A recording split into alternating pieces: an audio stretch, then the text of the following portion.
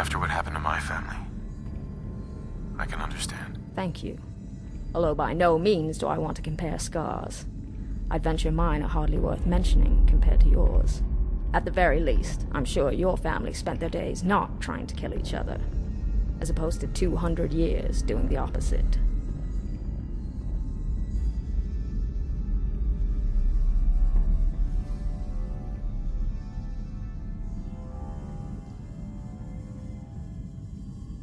We do now? One thing we won't do is give up.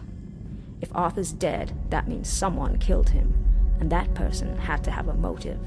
Granted, that list might be infinite, so it's best we start at the top.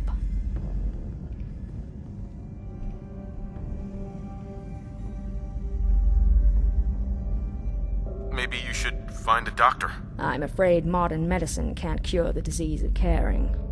Well, either that or the stimpaks I've been using are defective. But I'm long past the days when I saw it as a sin. In any case, we need to find out who killed him and why.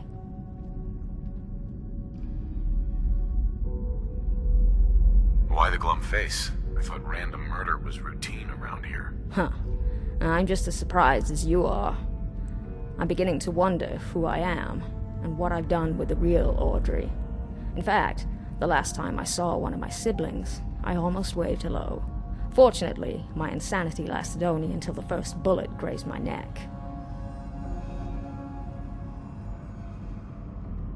What do you think happened to him? If I had to venture a guess, I'd say this is Margaret's work.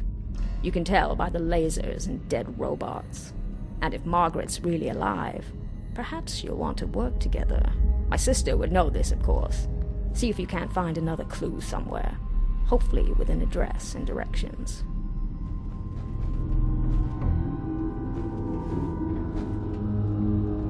I found this old photo. Ah, I know the place in the picture. A pre-war cafe for dilettantes and socialites, and a post-war nightclub for hustlers and scabs. Old enough to feel safe, but new enough to be dangerous. That's my sister for you.